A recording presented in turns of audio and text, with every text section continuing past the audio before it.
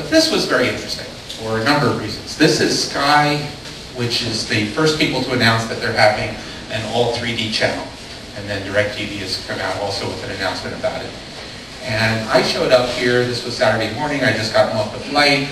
I got these glasses the day before, and big change in my prescription, and I was feeling very uncomfortable, uh, kind of queasy. And I get up here, and she's telling her, yeah, you know, I tried the glasses, I really don't like it because I get very uncomfortable, I get queasy after a while. I put on the glasses, all of a sudden I feel great. and I'll explain why in a moment. Uh, they did have some very good programming that they were showing. So here's 3D TV through the ages. Some of you have seen this before. Uh, first 3D TV, 1928. There's a little stereoscope there. That's actually a, a terrific way of doing 3D TV. Uh, here's a 1930 textbook about TV. There are, of course, several methods of accomplishing stereoscopic television. These are glasses that were sold in 1953, which is when Business Week ran the headline, 3D invades TV. There's an Ikegami 3D camera, came out in 1991. There's a Canon one starting in 2001. And then this year at NAB at the Digital Cinema Summit, Dr. Martin Banks of the University of California, Berkeley says, aha, we have come up with the first evidence that a Vergence accommodation conflict can cause fatigue and discomfort. To which I say, First evidence? Studies made by Hartridge, Kletsky, and others indicate that one of the most common causes of eye strain consists in an unconscious attempt on the part of the observer to modify the normal coordination of the ocular reflexes of accommodation and convergence. Published in 1926. Okay, well, what does this mean for real? Well, here's a lens, and I've blown up the focus ring over here. So this is accommodation. Accommodation is the focusing of the eye's lens. Um, and when the eye's lens focuses on something, not only does it make it clearer in your eye, but it sends feedback to the brain saying, I have just focused at this distance, so make the eyes converge on that same point. Well, here's the focus ring. The top is feet, the bottom is meters. So there's half a meter, one and a half feet, there's three feet, there's one meter. And then, whoops, right after one meter, we have infinity. Um, because we don't focus very well on things that are far away. Well, in a cinema, you're sitting 30 to 120 feet away from the screen. So focus is not happening. You're essentially focused at infinity. But when you're watching TV, you're sitting anywhere from a foot to 10 feet away from the screen uh, focus is an issue when you're watching home TV. Same thing with vergence or convergence, basically the same thing. This is based on a 2.6 inch interpupillary distance, which is common for adults. If you look at something half a foot away, each eye is toeing in by 12.2 degrees, very substantial. Look at something even 8 feet away, a typical TV viewing distance, and you're toeing in almost a degree, enough to be relatively significant. But now in that movie theater, by the time you're 30 feet away from the screen, you're toeing in two-tenths of a degree. Um, that's essentially looking straight ahead. So there is no vergence issue in a movie theater. There is no accommodation issue in a movie theater. But at home, there can be. So this is a slide from a paper that was given at IBC called The Truth About Stereoscopic Television.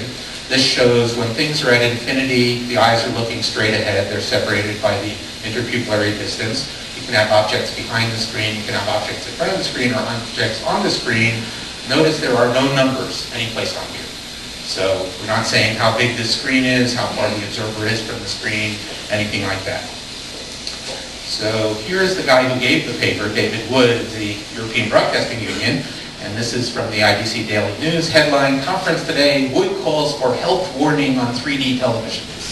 Actually, that wasn't in his paper at all, but it was in the interview that he gave to the reporter. And he says, I plan to concentrate on getting broadcasters to take the issues around eye fatigue seriously, and shows should at the very least carry a caution that viewers should not watch 3D for long periods. Well, is he just making stuff up, or is there a serious issue here? Um, this isn't the year of 3D TV we have this infinite distance parallel interpupillary problem. So on the orange lines here, I'm showing the eyes looking straight ahead at something that's infinity. Well, if you set that for a 30-foot screen, they'll be roughly two and a half inches apart. That's fine. But if you then show that on a 60-foot screen, the eyes have to diverge in order to fuse. That's not something that we do. If you show it on a 15-foot screen, then the eyes are converging and they're sending feedback to the brain saying this thing is not at infinity. And if you show it on a TV screen, then it's something really close. And then accommodation, again, with the exception of holographic or moving mirror displays, convergence does not match accommodation. So here is a paper that uh, In-Three, which is a US company that does um, 3D synthesis, uh, the sort of people who invented 3D synthesis came out with it about the same time as IBC. It's available on their website, it's free. Uh, here's a movie theater, and they're saying the farthest comfortable position for something in the movie theater is out at infinity, and the nearest comfortable position is eight feet back from the screen. This is assuming that you were about 40 feet from the screen. Well, that's a pretty good range of stuff. No big deal there. But then they say, and this is a company that's in the 3D business, they want you to use them to turn stuff into 3D. In a home theater, the comfortable viewing range, well, the farthest comfortable thing is only four feet behind the screen. That's a lot closer than infinity. And the nearest comfortable thing is only 1.8 feet from the screen. That's still like four feet plus from the viewer. So we don't have anywhere near the same kind of range in the home that we have in, this, in the theater. If you try to uh, simply repurpose stuff from the cinema for the home, it's not going to work.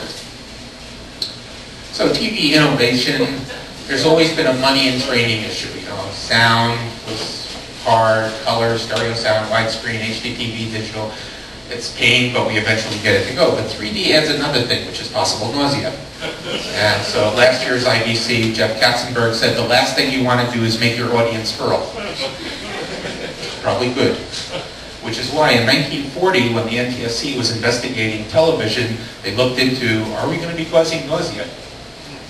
And determined that it was not an issue. That's where, by the way, I found that uh, quote from the journal in 1926. That was uh, a lead I found from the NTSC proceedings. The question was, uh, TV is going to be much worse than um, movie theaters in terms of vergence accommodation conflict. Why do people get nauseous in movie theaters? Uh, a number of reasons. 3D in the movie theater is not perfect yet. Uh, one of the things I mentioned was those differences between the cameras, the a slight vertical shift between the cameras as you're zooming or focusing or having the cameras off is enough to really make you extremely nauseous. Another issue is ghosting. And uh, essentially all of the 3D systems used in cinema today have at least some ghosting. Dolby has the least, it's the best, but there's a tiny bit of ghosting in Dolby. There's larger amounts of ghosting in the other systems. The ones with circular polarized glasses, so you can lean your head on somebody's shoulder, which you can do, by the way, with the Dolby glasses also. Uh, but if you lean your head on somebody's shoulder uh, with circular polarized glasses, that works. With cross-polarized glasses, it doesn't. But circular polarized glasses have very poor blue extinguishment.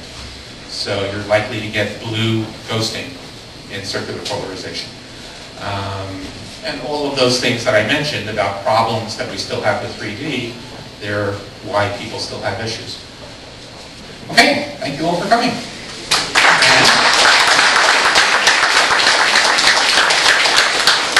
To schubincafe.com.